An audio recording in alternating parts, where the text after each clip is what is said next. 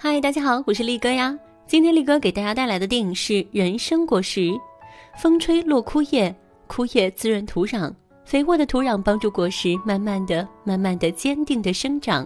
人生果实，日本高藏寺新城。当你从空中俯望它时，你会看到有与众不同的地方。那里郁郁葱葱，那里树木包绕着屋子，那里屋子在绿色中长出，在那里住着一对一百七十七岁的夫妇。金端修一和他的妻子英子，有一位建筑师说过，房屋就是生活的珠宝盒。金端夫妇的家里面藏着七十种蔬菜，五十种的水果，这些便是这座四十多年的房屋的珠宝之一。他们保持着落后的生活方式，不使用微波炉、燃气热水器，与朋友只凭信件交流，互相不见面。这部纪录片不仅记录了当时修一与英子四十年来的生活的点点滴滴，也承载了他们对生活的态度、对世界的看法和他们想展示给人们的人生观点。修一是一位经验丰富的建筑师，他的妻子是一个不论烹饪、裁缝、耕作都会的家庭主妇。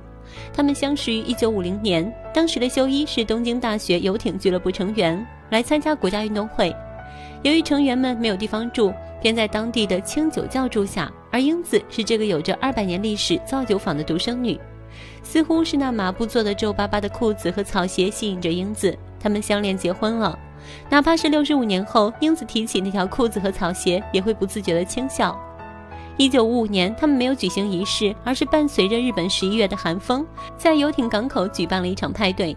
当时他们很穷，完全没有钱。但是在修一只能挣四万日元时，却想买七万日元的游艇。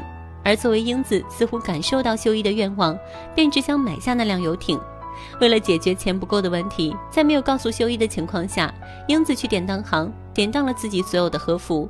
作为一个生活在传统日本家庭下的英子，她的家人从小教育她要保持微笑，努力工作。英子说，每当她想做点什么的时候，丈夫就会说：“当然好，听起来很棒。”正因为这样，直到结婚，英子才能做了想做的事情，畅所欲言。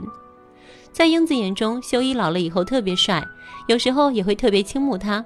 他不会大声地说爱他，但是会去尽量做一些修一喜欢的东西。在一九五五年，修一加入了新成立的日本房地产公司。一九五九年，随着伊势湾台风的到来，五米高的浪潮将整片陆地变成汪洋。台风过后，他们面临最大的问题是，人们应该住到哪里？如何搬迁到更高地？一九六零年建造新城的项目开始了。作为当时房地产公司的王牌，他负责设计部分，公司给予了修一自由设计的权利。修一希望通过在山脊建造房屋来强调景观，让居民感受到山的风景和风的魅力。在一次突然消失于公司后，他带来了十张巨大的图纸。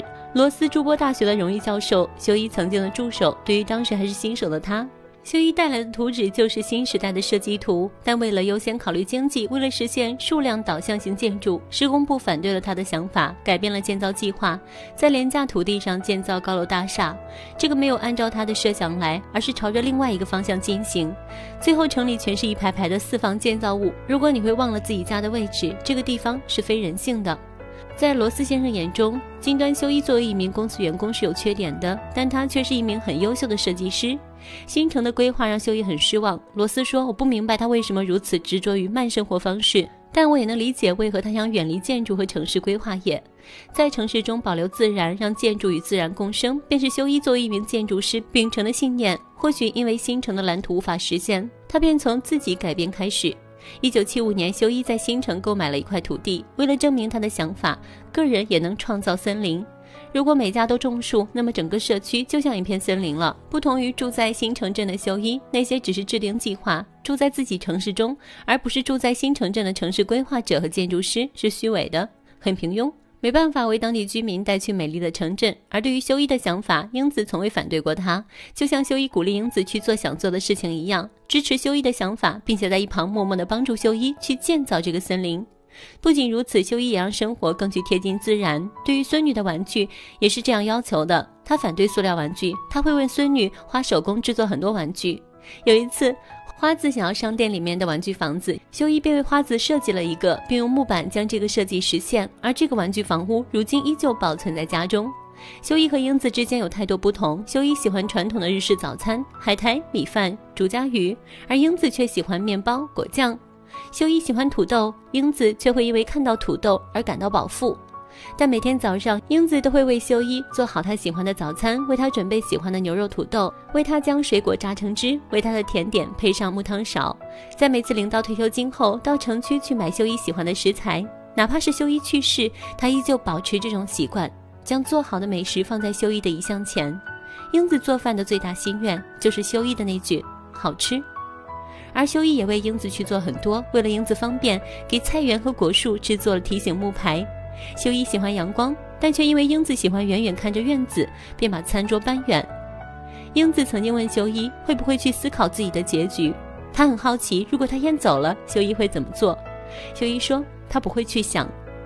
二零一五年六月二日，修一在除草后小憩后再也没有醒。英子在修一遗体面前，让修一耐心地等他，等他化为灰烬，一起乘船去南太平洋。修一走后，英子说：“孤单一人并不是很孤独，但我有时候感觉很空虚，我不知道怎么一个人继续下去。”枯叶落地生肥土，肥土育树传后世。修一亦有桃源地，应然子爱隐盛世。在繁华都市，不缺少纸醉金迷、灯火酒绿、觥筹交错，但他缺少有可以安放躁动内心的安静之地。正如金端修一认为的，人生于自然，也要融入自然。修一曾总是告诉英子，要缓慢而坚定地做自己能做的事情，就如那棵树一般，每天的灌溉会换来每天的成长，然后慢慢的、慢慢的成熟，结出果实。我们也要如此，等丰收之际，快乐也会接踵而来。